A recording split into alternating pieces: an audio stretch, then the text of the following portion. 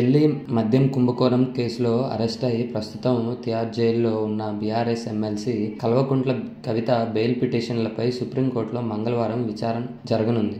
ఈ కేసులో బెయిల్ ఇవ్వాలని ఇటీవల సుప్రీంకోర్టులో కవిత పిటిషన్ దాఖలు చేసింది. Justice Gavai justice KV Viswanathan ధర్మాసనం ఈ కేసు విచారణను చేపట్టనుంది. ఢిల్లీ లిక్కర్ కేసులో మార్చి పదిహేనున కవితను హైదరాబాద్లో ఎన్ఫోర్స్మెంట్ డైరెక్టరేట్ అరెస్ట్ చేసి మార్చి పదహారున ఢిల్లీ రౌస్ అవెన్యూ కోర్టులో హాజరుపరిచారు. కోర్టు అనుమతితో రెండు విడతలుగా పది రోజులు ఈడీ కస్టడీలోకి తీసుకొని కవితను విచారించింది. ఆ తర్వాత కవితకు పద్నాలుగు రోజుల జ్యుడిషియల్ కస్టడీ విధించడంలో మార్చి ఇరవై ఆరున తిహార్ జైలుకు తరలించారు. ఇంతలోనే సిబిఐ రంగంలోకి దిగి కవిత తిహార్ జైల్లోనే ఉండగా అరెస్ట్ చేసింది.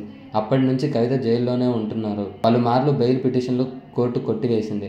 అయితే అనారోగ్యం కారణంగా తమకు బెయిల్ ఇవ్వాలంటూ కవిత మరోసారి సుప్రీంకోర్టు మెట్లు ఎక్కింది ఇప్పటికీ ఈ కేసులో ప్రధాన నిందితుడిగా ఉన్న ఢిల్లీ మాజీ డిప్యూటీ సీఎం మనీష్ సిసోడియాతో పాటు ఎంపీ సంజయ్ సింగ్ అభిషేక్ బోయిన్పల్లికి సుప్రీంకోర్టు షరతులతో కూడిన బెయిల్ను మంజూరు చేసింది. ఇదే తరహాలో ఎమ్మెల్సీ కవితకు కూడా బెయిల్ వస్తుందని బీఆర్ఎస్ శ్రేణులు ఆశాభావం వ్యక్తం చేస్తున్నారు. మరి కవితకు సుప్రీంకోర్టు జైలు గోడల నడుమ నుంచి విముక్తి కలిగిస్తుందా అనేది నేడు తేలనుంది. ఇదే సమయంలో కవితకు లిక్కర్ స్కామ్ కేసులో బెయిల్ వస్తే బీఆర్ఎస్ బీజేపీ విలీనం అవుతుందా అనే వార్తలు చక్కర్లు కొడుతున్నాయి. త్వరలో బీఆర్ఎస్ పార్టీ బీజేపీలో విలీనం కాబోతుందని పలు రకాల ఊహాగానాలు వినిపిస్తున్నాయి.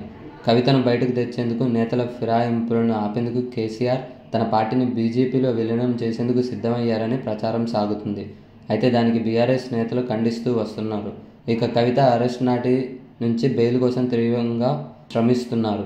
చాలాసార్లు బెయిల్ మంజూరు చేయాలంటూ ఢిల్లీ రౌజ్ అవెన్యూ కోర్టులో కవిత తరపున న్యాయవాదులు పిటిషన్ వేయడం అందుకు కోర్టు సబ్స్క్రైబ్ చేయండి. Subscribe to please do subscribe to subscribe to please like share and subscribe to top Telugu TV. Top Telugu TV. Top Telugu TV. Top Telugu TV. Top Telugu TV.